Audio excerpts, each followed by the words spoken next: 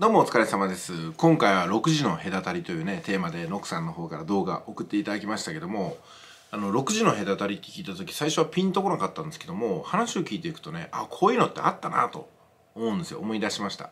あのというのがねテレビかなんかの企画で幼い頃見たんですけどもその普通の人のところに行ってで芸能人の写真を見してこの人と会えそうな人を紹介してくださいっていうふうに、まあ、ディレクターとかが聞いていくんですよ。そしたら、うわこの人を直接知ってる人はいないけども、この人だったらもしかしたらね、知り合いの知り合いぐらいは知ってるかもしれないなって感じで、あの、ある人を紹介してもらうんですよ。で、今度は取材班はそっちの方に行くんですよね。で、同じ質問するんですよ。この人と会えそうな人を紹介してくださいって言ったら。そしたら、うーん、私はちょっと直接は知らないけども、この人だったら知ってるかもね、みたいな感じで、どんどんどんどんね、飛び石のように繋いでいって、本当にね、7人目ぐらいでね、あの、写真の人に出会えた、みたいなことがあったんですよ。で、その写真の人は、スタジオで見ている、その松本人志さんだったみたいな感じでね、あ、確かにこいつ知っとるわ、みたいな感じでね、電話も繋がってるみたいなところで、あの、直接の松本一冊さんの知り合いの方に、結局そうやってね、何人かを経営することによって、無名な人から一般の国民から繋がっていくみたいなことがあったらしいんですよ。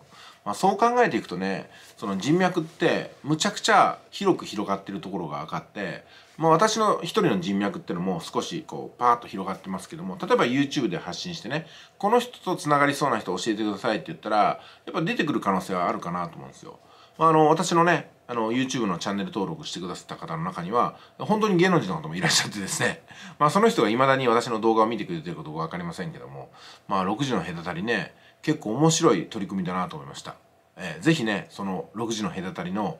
なんか面白い活用方法が他にもありましたらね、ちょっと考えてみたいんで、この放送でまたその時は紹介したいと思います。ノックさんいつもありがとうございました。それでは食事行きましょうか。お疲れ様です。